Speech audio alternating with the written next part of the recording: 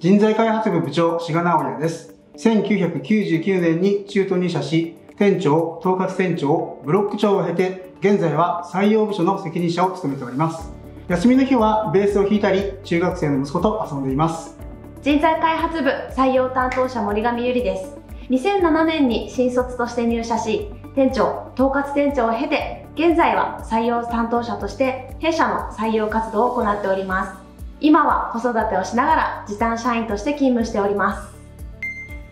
自分の好きを生かして活躍でき、若いうちからキャリアアップが目指せるからです。たくさんのものを扱っているので、好きなものの趣味が増える社員が多いです。シャワリの制度もあるので、よく買い物もしています。風通しの良い職場環境ですし、社員同士の距離が近いのも魅力の一つです。福利厚生、研修制度が整っていることです。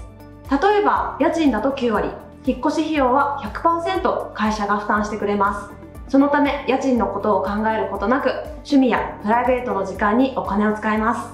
研修も土日祝日以外毎日実施しているため必要なスキルを身につけられるだけでなく仕事のサポート面も充実しています経営理念に共感してくれる方も多いですリユースは地球に一番優しいエコ活動ですリユースを通じて社会や SDGs への貢献につながりますまた好きなものに携わって働くことがモチベーションにもなります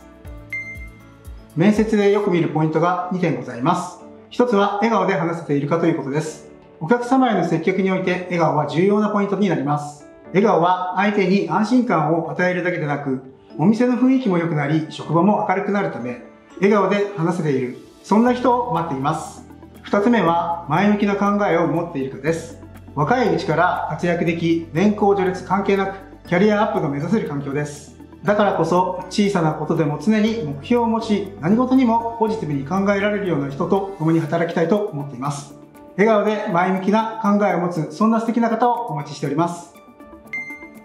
笑顔で明るく元気な方と一緒に働きたいです。活気のある店舗を一緒に作っていきましょう。